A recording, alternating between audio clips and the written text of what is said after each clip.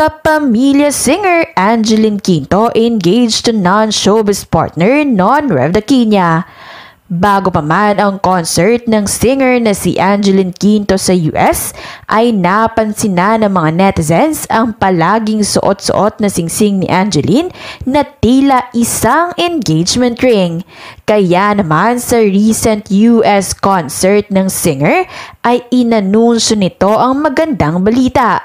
Tinawag niya ang kanyang future mother-in-law sa audience ang ina ng boyfriend at fiancé naman ang ama ng kanyang anak. Ayon pa kay Angeline,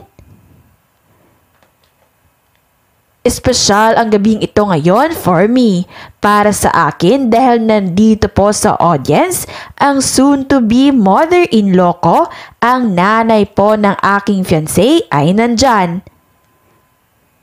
Ito na nga ang kumpirmasyon ni Angeline na engaged na ito dahil hindi naman ito itinago ang kanyang singsing sa kanyang mga followers.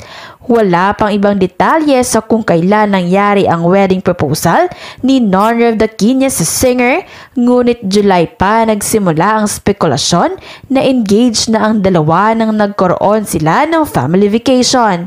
Sa social media ni Angeline ay tila may pahint rin ito sa kanyang engagement at ang pagpapalit ng boyfriend-girlfriend to fiancé.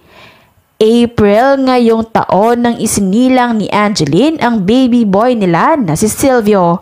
Bagamat pinili noon ni Angeline na huwag isapubliko ang katauhan ng kanyang boyfriend ay di kalaunan ipinakita rin ito ng singer-actress nang nagkaroon na ito ng maternity shoot.